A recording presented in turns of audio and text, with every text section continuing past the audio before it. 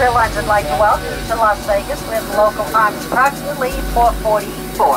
On behalf of this entire crew, I'd like to wish you a very pleasant day.